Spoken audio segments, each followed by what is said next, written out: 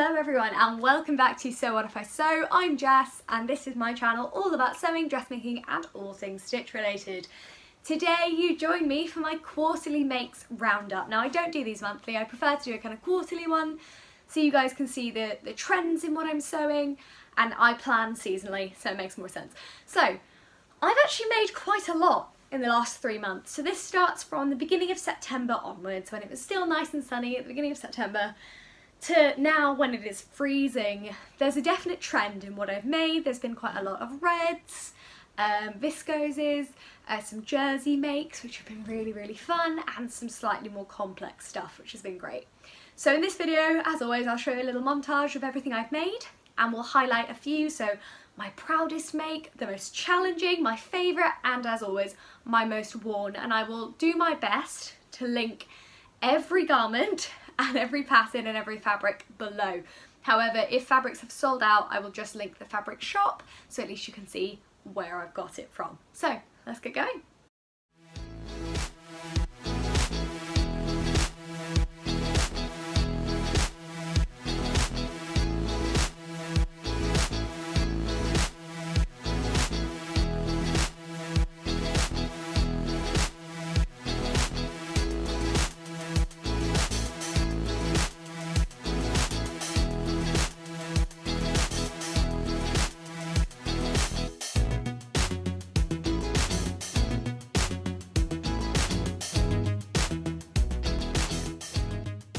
Now this was really hard. There was a real strong tie between my Amaya shirt from Made My Wardrobe and my raglan dress from Trend Patterns. This had to win, I'm afraid. So I adore my Amaya shirt. I wear it all the time. Uh, I love the finishing on it and everything, but this won because I would never in a million years have bought this in a shop. I wouldn't have. Because I would have looked at it and said, that'll look terrible on me. But actually, I love it. I love it so much. I love my big floopsy sleeves. I love the way the back does up. It's my favourite. It's so comfortable. And I wear it with a little belt, black tights and boots. And I look work appropriate. I'm so comfortable. And I could wear this literally any season. Like, it's a light viscose from Rainbow Fabrics Kilburn Again. It was actually gifted fabric in an order I'd already bought stuff. They've just threw in some extra fabric for me, which is very sweet. Um, and I love it. I just adore this dress so much. Uh, but it's actually, like, I'd forgotten, because I've not worn it in a bit because it's got so cold here, uh, and I'm not going out to work properly. I'd forgotten how comfortable this dress is, and I'm going to wear it to work tomorrow. so this is, it's got to be my favourite make.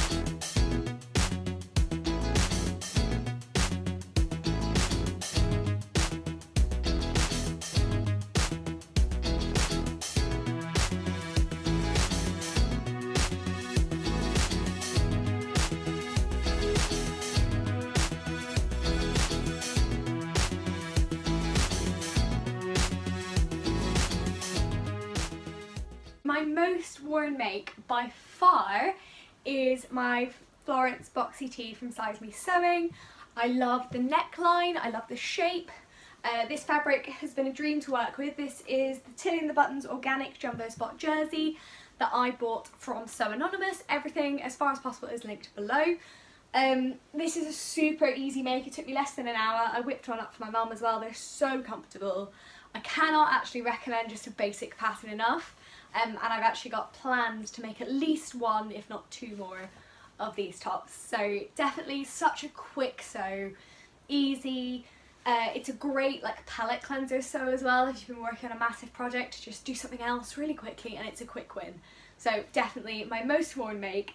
Uh, I actually worn this out today getting a Christmas tree. Um, I've also worn it with like trackies or actually my favourite way is I wore it tucked into my brie skirt from cutting thread with a long cardigan heeled boots and it actually looked really professional. So a definite win.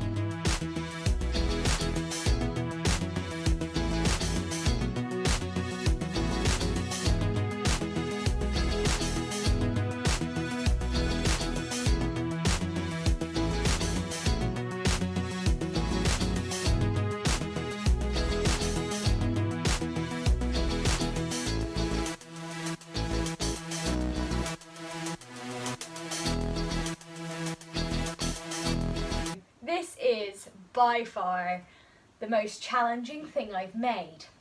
And the thing is, this is not due to technical stuff. I've really judged this based off how much I think I swore and threw it around. Uh, this is my Norma hack. So there was a challenge going on from Fibre Mood to hack the Norma blouse in any way you wanted. The pattern was free to download.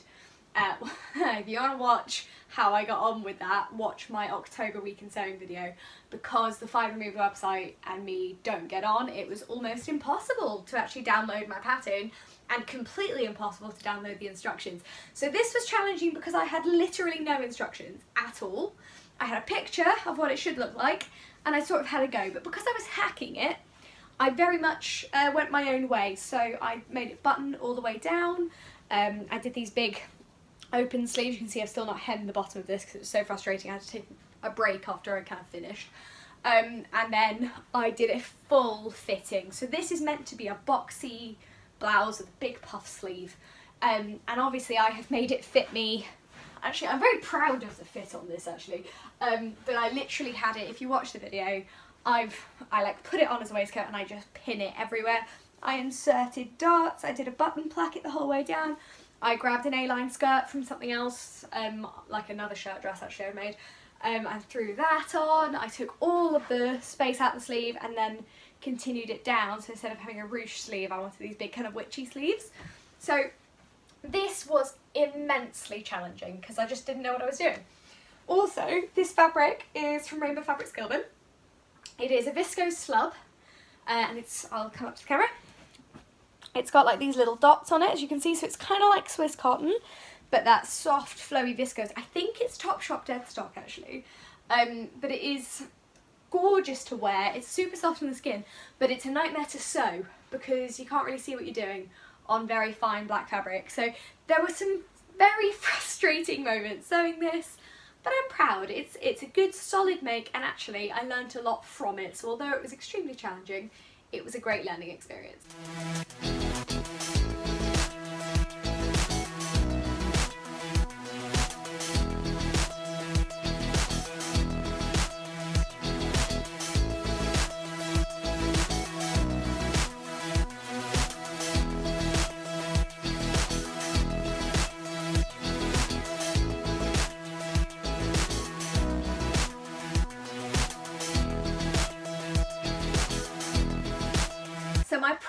Make.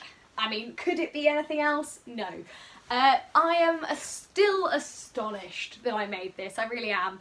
Uh, I love it. Uh, there's a few things I've, I would like to change. Not change, but there's a few things I've learnt from, like the sleeve lining I need to sew further down and pull through, bits like that. But I'm so impressed with this. It's my first jacket zip, my first poppers, my first patch pockets, um, my first hood, my first fully lined and bagged out garment. It's so exciting and I really, really do recommend the Tilly and the Buttons Eden coat as, which is obviously what this is, um, as a first coat sew because it's pretty, like, there are points of the instructions that are a little bit off, but as a, as a whole, it's a really, really solid project that I think any level of sewer could have a go at. And depending on your fabric choices, you can make it as complicated or as simple as you need it to be. So I'd really recommend this coat. Uh, I love the storm flaps, they're a nice little touch. Um, I love the pockets, I just love the whole construction actually and it's really boxy. So like today I was wearing a massive jumper and then this on top and it's so cozy as well. Mine is made from black waxed cotton from Croft Mill and the lining is a cotton poplin floral from Sewing at number 51 and the zip and notions and everything are from Jaycotts which again linked below.